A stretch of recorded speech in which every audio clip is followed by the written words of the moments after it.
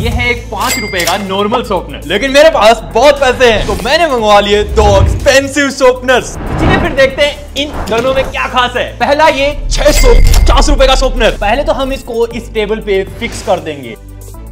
अब ये बिल्कुल टच से मस नहीं होगा। तो अब आते जाते बस छेद में पेंसिल घुसानी है और बस हैंडल को घुमाना है।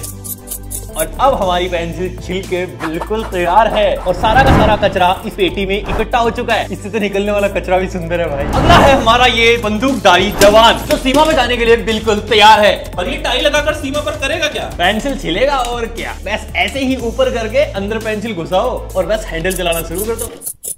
और आपकी पेंसिल पूरी चुभाने के लिए तैयार हो जाएगी और सारा कचरा आ जाएगा इसके बैग में। वैसे इसका लुक अच्छा है लेकिन इसे चलाने में मज़ा नहीं आ रहा पर इतना हमारे लिए काफ़ी नहीं है। इसलिए हम करेंगे कुछ तूफानी।